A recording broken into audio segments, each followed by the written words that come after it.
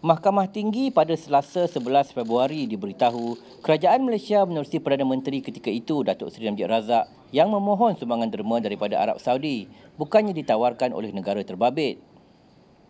Bekas Menteri di Jabatan Perdana Menteri Datuk Seri Jamil Khair Baharum dalam keterangannya berkata beliau menyedari terdapat permohonan derma itu bagaimanapun ia tidak dibincangkan di peringkat Kabinet. Jamil Khir yang menjawab soalan Timbalan Pendakwa Raya Datuk V. Sitambaram pada sesi pemeriksaan balas bersetuju dengan cadangan bahawa perkara mengenai derma itu disembunyikan daripada rakyat.